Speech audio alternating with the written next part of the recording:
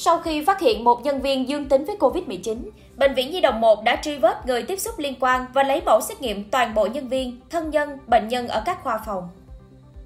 Trưa ngày 11 tháng 6, Bệnh viện Nhi đồng 1 đã có thông tin chính thức về một nhân viên bệnh viện dương tính với Covid-19.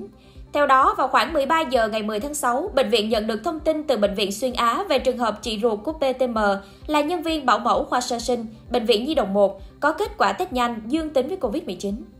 Bệnh viện Nhi đồng 1 đã chủ động yêu cầu chị M đến Bệnh viện Xuyên Á gần nhà để xét nghiệm. Kết quả test nhanh chị M cũng dương tính. Sau khi nhận thông tin chị M có kết quả dương tính, Bệnh viện Nhi đồng 1 đã nhanh chóng kích hoạt quy trình xử lý khi có ca nghi nhiễm, đã được bệnh viện chuẩn bị, diễn tập từ trước. Bệnh viện đã cách ly toàn bộ khu chuyên sâu sơ sinh, gồm khoa sơ sinh và khoa hồi sức sơ sinh, tạm ngưng tiếp nhận bệnh nhân sơ sinh từ các bệnh viện khác, đồng thời vệ sinh khử khuẩn toàn bộ khu chuyên sâu sơ sinh.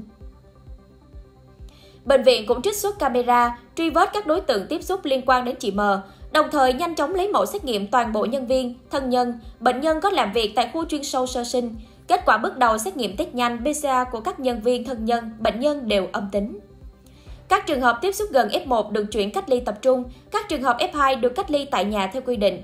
Bệnh viện cũng lấy mẫu xét nghiệm cho toàn bộ nhân viên, thân nhân, bệnh nhân ở các khoa phòng còn lại.